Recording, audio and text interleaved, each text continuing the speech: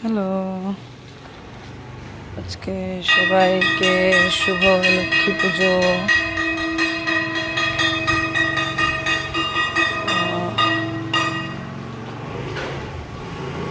সবাই ঘরে ঘরে হচ্ছে